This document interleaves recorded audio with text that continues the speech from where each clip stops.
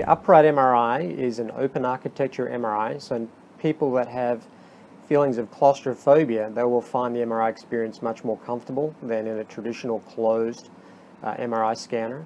Okay, Jess, have you ever had an MRI before? No. Okay, this one's real easy. The upright MRI allows us to image the patient in the position in which they're experiencing pain, whether that be upright, in a seated position, or lying on their back. If you're comfortable, I'd like you to go ahead and scoot your, yourself all the way back in the seat. Okay, I'm going to have you raise your arms up for me. Perfect. Okay, and you can put your arms down. One more thing, I'm going to put a pillow in your lap. Makes it a little more comfortable for your arms. There you go. Make yourself nice and comfortable. This is the only magnet like this in the state of Washington. Um, very unique. Uh, we have patients that come all the way from Oregon, Alaska, um, Canada. We've had patients from Hawaii, patients on the eastern side of Washington, central Washington. So we get a whole variety of different patients. You're good? Okay. I'm going to hand you an emergency buzzer.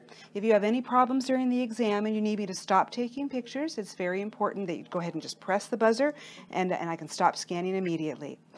This is best for patients who are claustrophobic and they may have tried another traditional open magnet where things are maybe traditionally over their face and they're not able to lay down.